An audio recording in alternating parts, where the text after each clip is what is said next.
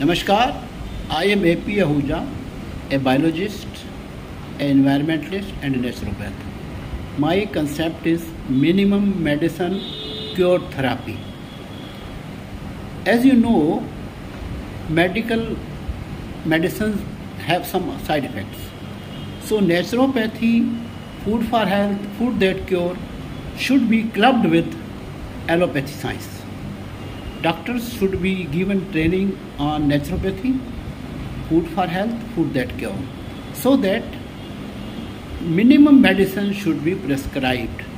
And we should take help of food food items which help in faster cure um, meditation naturopathy and other factors which can help in faster recovery and improving efficiency and immunity also. As you know we can get other benefits also like low medical bill medical expense will be minimum and faster recovery and minimum future illness.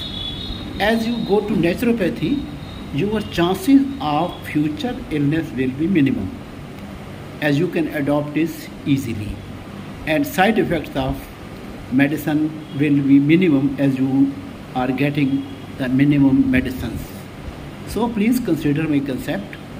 And so minimum medicine cure concept should be adopted in all hospital with naturopathy arrangements so that people should be healthy with more efficiency and better immunity and medical expense bill should be low.